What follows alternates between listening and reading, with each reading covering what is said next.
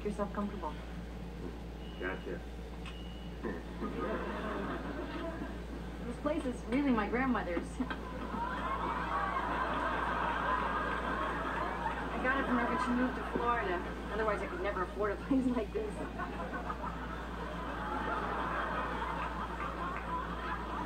So if the landlord ever asks, I'm an 87-year-old woman who's afraid of her VCR. You thirsty? Oh, you bet I am.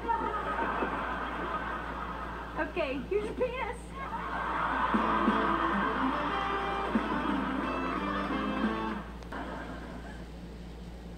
I still see it.